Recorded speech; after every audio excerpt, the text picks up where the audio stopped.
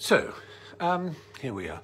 It's funny how everything begins with so these days, doesn't it? When you hear people being interviewed, they always start with so.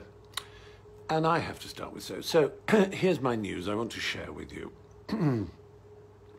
I, uh, oh, I don't know how to say this really. Well, it's not difficult.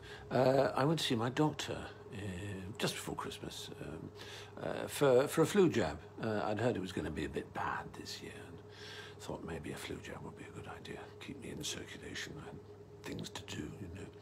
So I went to see my doctor, Tony. Uh, he was at my school, a year or two above me, but I've known him and he's been my doctor for many, many years. And uh, he said, well, let's have a, let's have a general checkup, you know, an MOT, and see if everything's all right. Uh, I have one of these every year, nothing to worry about. So, he, you know, aside from the flu jab, I had my, you know, blood taken and urine and, uh, you know, blood pressure and pulse and tapping here and tapping there, say R, say 99. You know, the, the, the general procedure. Didn't think much more of it, really. Then um, next day, he, he called me up and he said, I'm a little worried about your PSA levels. Now, I don't know if you know what PSA levels are. I hope you do. If you're a man, you certainly should do. Uh, it stands for prostate specific antigen. Um, and these are things uh, that the prostate give out if, if it's under attack from some sort of tumour. Uh, and you're supposed to get them checked every year, you know. And uh, I think a normal level is anything under four nanograms per milliliter. Um, and mine was 4.97, nearly five. Well, so not very high, to be perfectly honest. Um, someone of 10 years older than me would expect five as a sort of mean level of PSA. So, so really I wasn't too concerned. But uh, Tony said maybe, maybe you should consider an, an MRI. It seemed to be taking a bit of a sledgehammer to a peanut, but I said, okay, you know, just to keep him happy. And then I supposed to keep myself happy as well.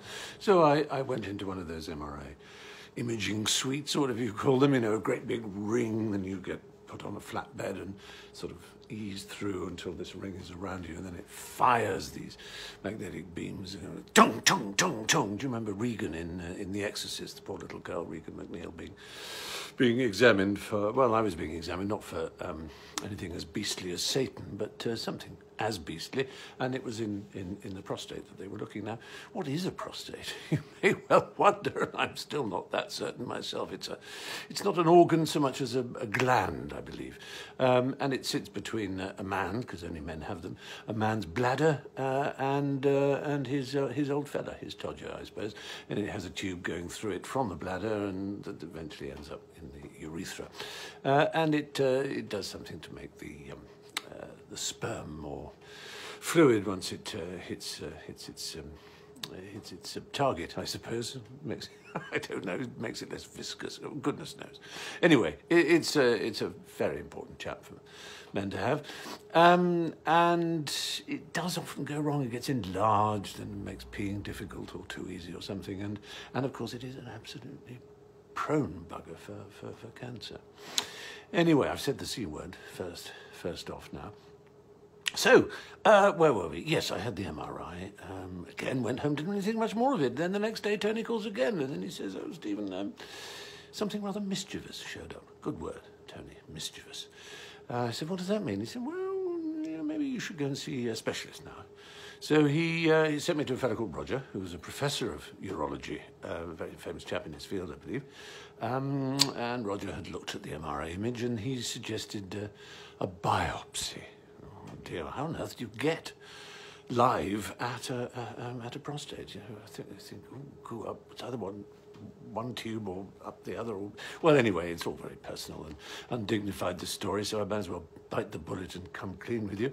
Um, it, it, was a transrectal biopsy, so some sort of thing went up um, and, and uh, took a clip of living tissue from the prostate. It's not an experience I'd recommend to my worst enemy. Really, very unpleasant uh, feeling. It's like taking an ice core, you know, in the poles. Uh, anyway, they took these two bits out of me, just to be sure. Um, and um, again, another wait, and then uh, get the results the next day. And yes, indeed, there is there is a cancer there. Uh, a carcinoma is an adenocarcinoma is the correct word, I believe. Um, and these things are graded. There's, there's a particular grading system for prostate cancer. It's called the Gleason score. Um, and my score was eight, it seemed. Um, we'll come to that a bit later, but uh, that's, that's high enough to warrant some sort of treatment. And um, the next stage was just to make assurance doubly sure, as um, Lady Macbeth puts it, or is it Macbeth? One of them, um, and have a PET scan. Uh, you know, one of these things where they inject you with a um, some sort of radioactive material, gallium arsenide in this uh, instance, I think, or just gallium, not the arsenide. No, I'm thinking of something else there. They inject you with gallium and, uh, and then it sends around the system, and any bit that's in any way cancerous is lit up, shows avidity, I think is the technical term. So, I'm sorry if I'm boring you, but anyway, I'll, I'll get to the chase. Um, again, uh, that gets done, and I come back and another night of waiting, and the next day, yes, indeed, there it is.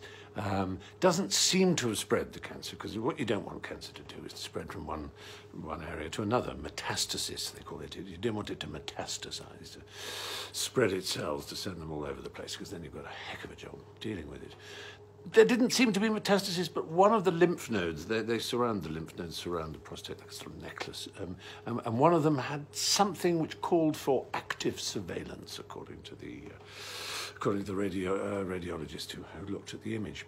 And so I went again to see Roger, the urologist, and he looked at the PET scan and uh, he looked at the MRI scan and the biopsy results. And we had a couple of options. One was um, radiotherapy, but that's a very long and difficult process. Um, I mean, it's fine for some people, but uh, there were a number of issues uh, with it for me. Um, I won't go into the full details of it because you have to weigh these things up. Um, and the other was to get rid of the prostate, to get it out uh, using a process known as radical laparoscopic um, prostatectomy, uh, robotic no less, radical robotic laparoscopic prostatectomy. In other words, sending little robots in through tiny holes um, that are pierced in your tummy. Uh, and that's what the operation we decided on should be, uh, because he also wanted to take out some, some of the um, uh, some of the lymph nodes, uh, just in case there was a spread there. So where are we now? Well, we're in December and it's nearly Christmas. So an, an operation is, is decided on. And in, in the first week of January, I had the operation.